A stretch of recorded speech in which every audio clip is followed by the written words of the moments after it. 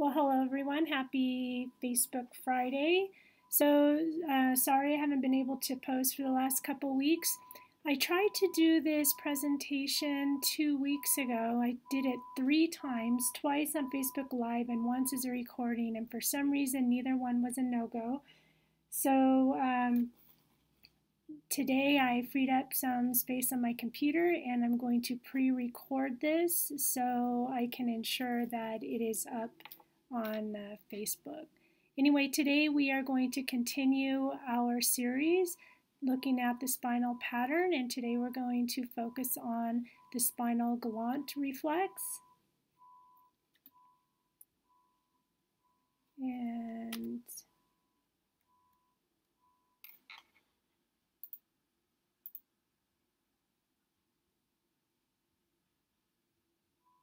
Okay, there we go. Sorry about that. And so just to uh, recap, um, we first started talking about the um, withdraw fear paralysis reflex um, that occurs in utero, the very first reflex that occurs.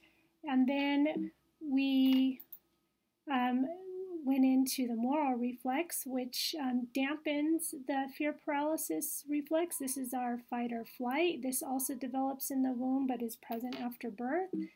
And then we um, continued with the mouthing reflexes, including rooting, sucking, and swallowing. This is the baby's first attempt for reaching. And then we um, started in the spinal, re, uh, the spinal movement pattern looking at the tonic labyrinthine reflex, and today we're going to look at the spinal galant reflex. Um, so just to remind ourselves that the spinal movement is a movement um, that the baby does from the head to the tailbone, you know, and vice versa. It's the initial way that a baby begins to move, wiggling by flexing and curving the spine. The spine moves by flexing, extending, flexing to the side, and rotating. Um, all the lateral movements or the movements from the limbs are supported by the center, which is the spine.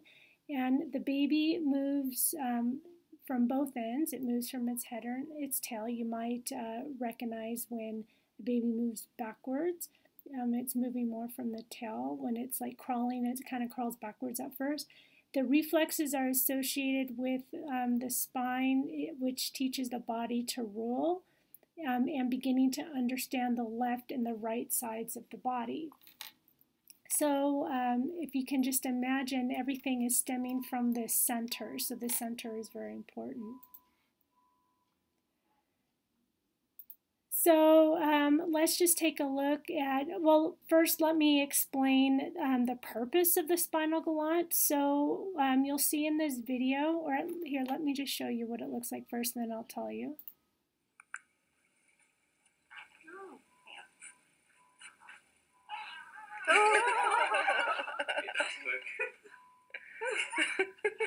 So the spinal galant is when the baby is stroked and the lower part of the spine, next to the spine on either side, that same side hip flexes upward. So the purpose of that reflex, um, it develops in utero, and it's to help the baby wiggle out of the birth canal.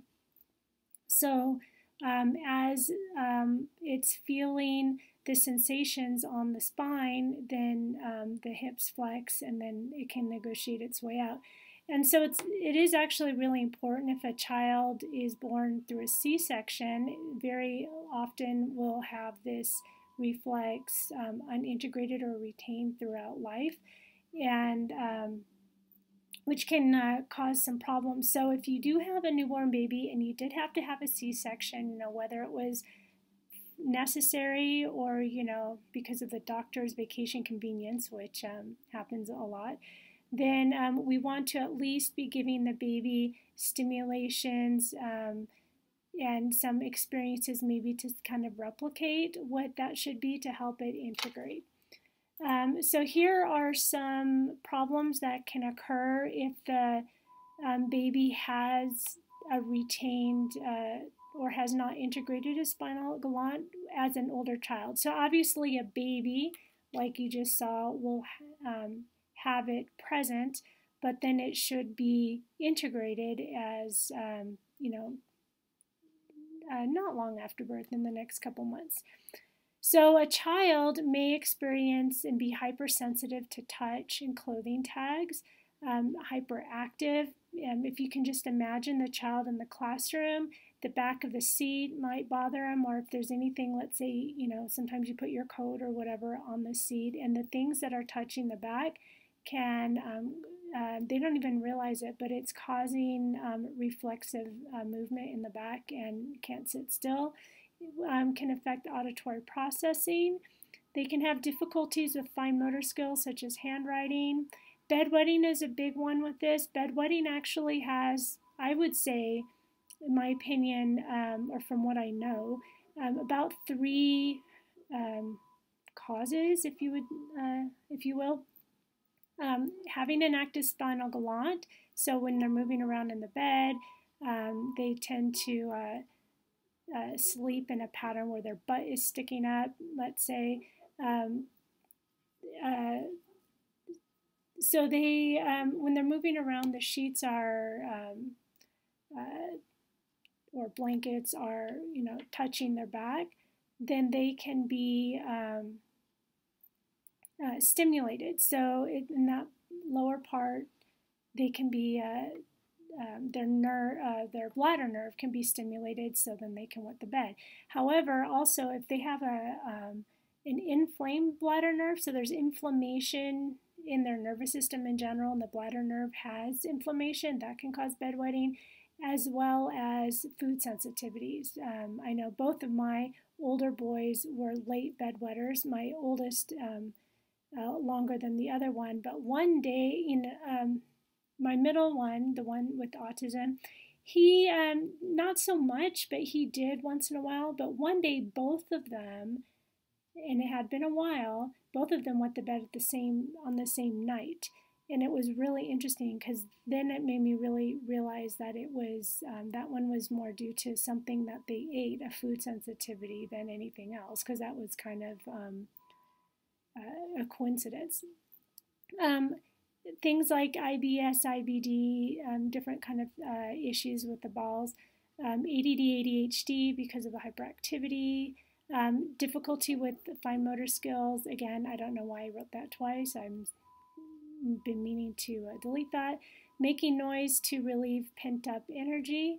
Um, they prefer to work or watch TV on the floor, let's say, to prevent irritation, you know, or this is why um, uh, seating arrangement, alternative seating arrangements in the classroom is so good. Like if they sit on the physio balls, they don't have, um, not only does that develop their core strength um, or balance, but they don't have, uh, or a stool, they don't have that uh, um, back, you know, and um, so sometimes they might want it because they're a little bit uh, lazy and they want, um, but um, sitting without something on their back or laying on the floor is much more comfortable for them. Uh, they might develop uh, speech disorders or spelling difficulties, delayed cognition, poor concentration, and poor short term memory. So simply, if you want to just test the spinal galant, you pretty much saw in the first video, but if you just stroke downwards along about an inch away from the spine on each side, have the um, have your child in this position that you see here, that um, my son Andrew is in, and when you stroke down, you'll see um, uh, some, usually some movement in the hips, or um, they could be very, just very sensitive in that area. If they're a little bit older, they might hold it, they might compensate, and um, so you have to kind of ask them, well, what did you feel? Did uh, because sometimes um, obviously they'll feel, feel your finger. so you have to say, well, did that? They might say that felt strange or weird. Um, so the older they are, the more that they can compensate us as adults.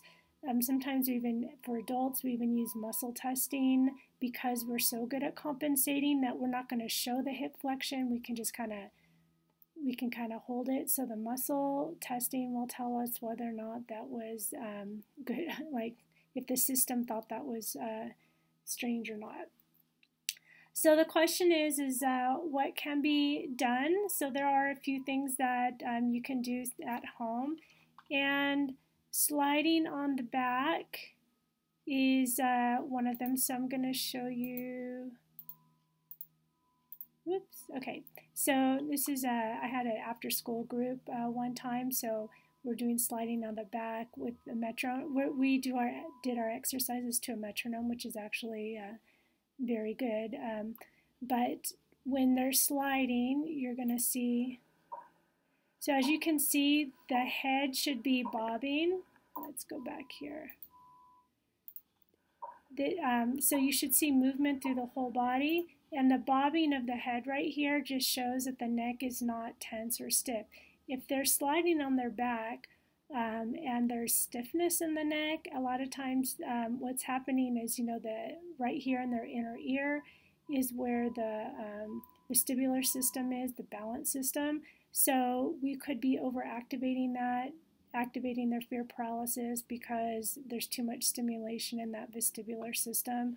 Um, but generally, there should be movement. It should be smooth and fluid. Um, now, I'm going to tell you, kids who struggle, and even all of these boys, did not slide like this in the beginning. It's very difficult. So, what you can do is you can be right here by their feet and you can pull their knees or push their knees, um, depending how they, um, and they can just receive the movement. Um, that will also help the spinal galant, but it'll also teach their body how it should feel. And then ask them if they can continue on their own. And you might have to help them for a while, but after a couple weeks, for sure, they should uh, be able to get that. Um, let's see. Another one is spinal walking. And I'm going to um, share this tutorial I made a while back with um, Andrew, just so you can see how to do it.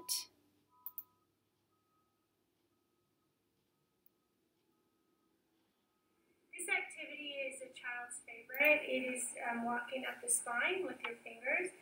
Um, most, some people like different amounts of pressure, but most children like deep pressure. Um, so you can ask them how much. So do, would you like this like deeper? This? Deeper. Okay, we're gonna go nice and deep, and okay, we can walk up like this. I like to go nice and slow. Let them breathe through it. This depends on how sensitive they are. If they're really sensitive, go nice and slow and have them breathe through it. As you can see, he's a little bit sensitive right now up here at the top. Take a nice deep breath.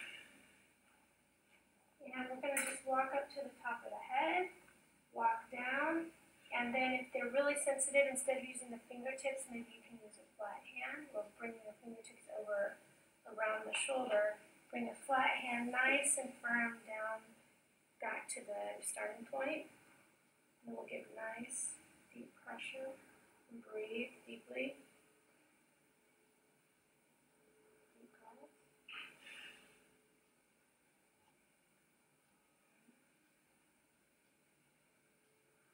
And so this can be a sensitive area right here.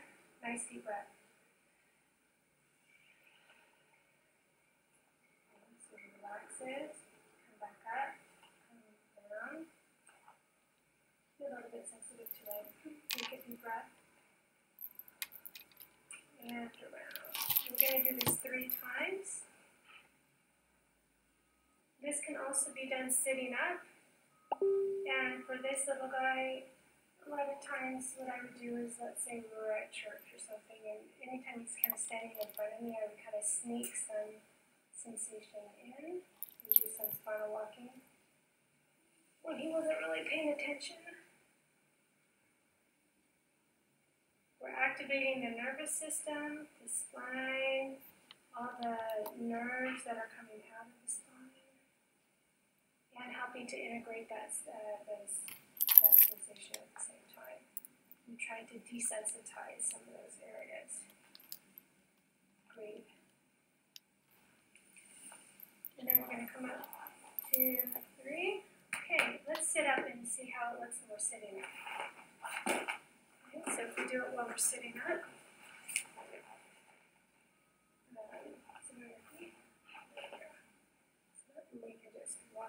um, All right, so it's going to be kind of self-explanatory. It'll be the same thing, but you can do it laying down or sitting up. But kids really like it. Um, you know, when you're laying down, you, it seems like you can put a little bit more pressure on the back.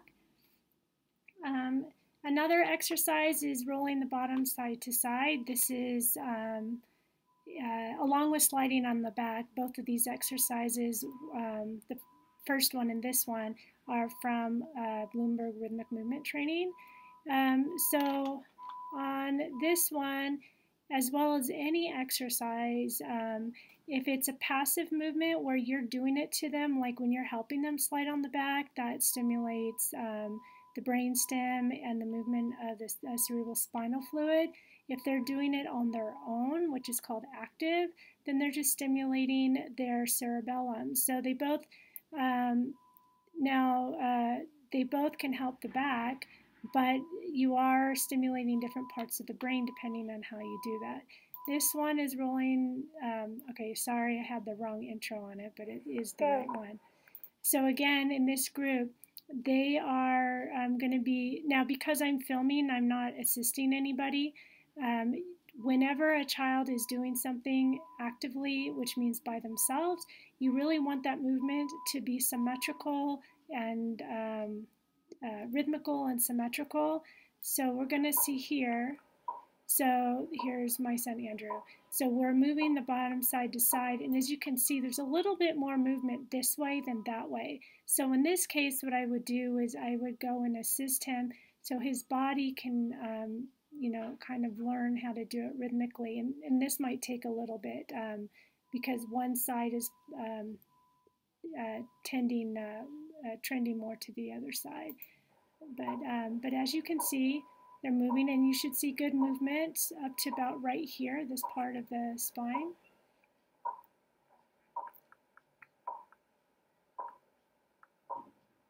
Okay, and um, otherwise I can just take their britches and just kind of help them and move it back and forth. This is actually a really good one for young kids because it can help them put them to sleep.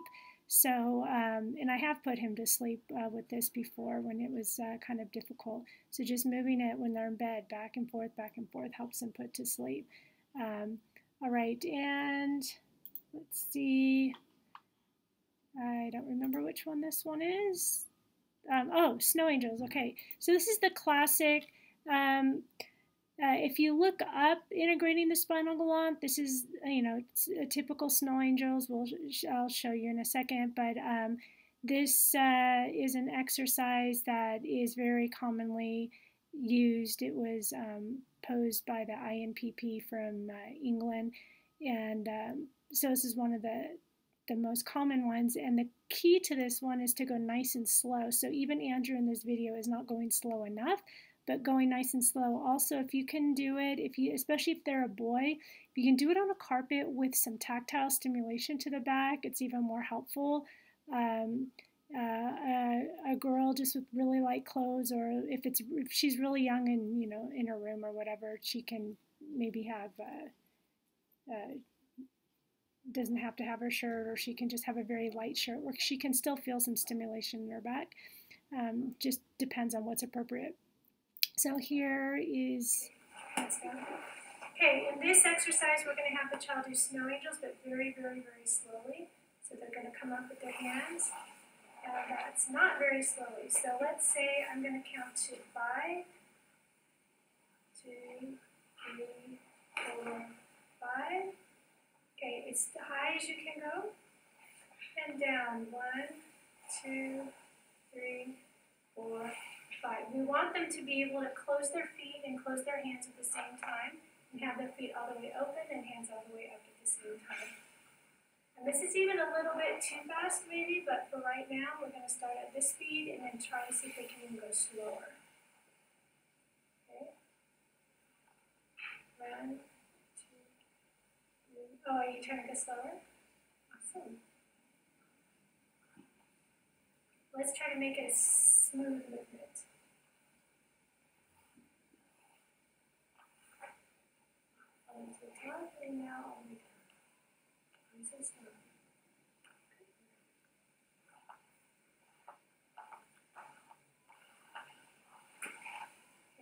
A variation can be the hands are already up, And the legs are down.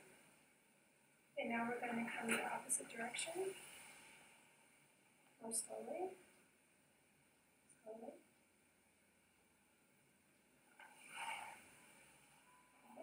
And another variation is we can have our hands down. So another variation is we can move these two limbs at the same time.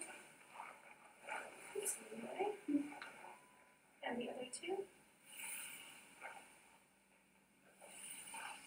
And another variation would be to move the opposite limbs at the same time. Well, that's moving all of them together, so let's try that again. Try to see if you can. It is hard, this one and this one. All right, so.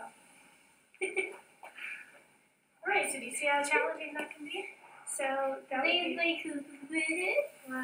that. Now, come on. You got to tell me. I did. You didn't. But don't move the yeah, do move the other one when okay stop. Let me stop. Okay, try that again. Ready? Okay, ready? Move the opposite side together. That's the same side. Down. There you go. Come down and then move the other side. Bring this one all the way back down to the other foot. And then move the other side.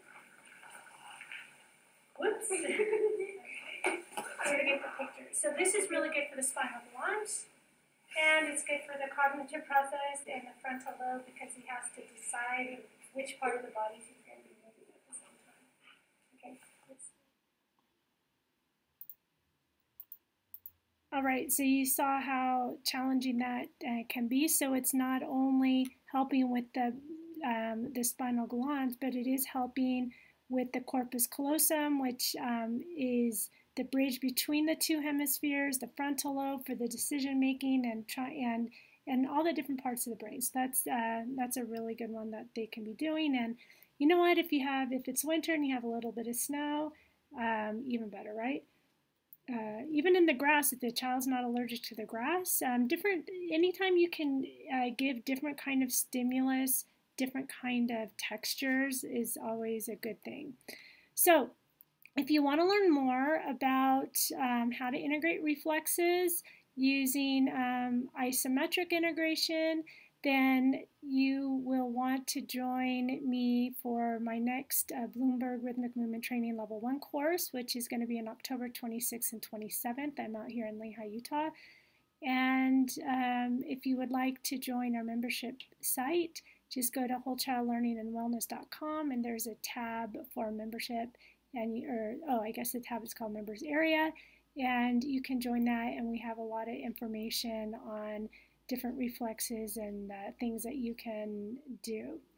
So until next week, we should be um, continuing with our um, spinal movement patterns. Um, and until next week, we will see you then. And, um, you know, let me know if you have any questions, if you're trying these with your kids, or even better yet, try them with your kids. Any of these reflexes that you've learned, I would really appreciate it if you took some video and then posted it on the Facebook page, and um, you know you could be sharing, uh, showing each other. Um, until next week, um, striving to put children first. Thank you.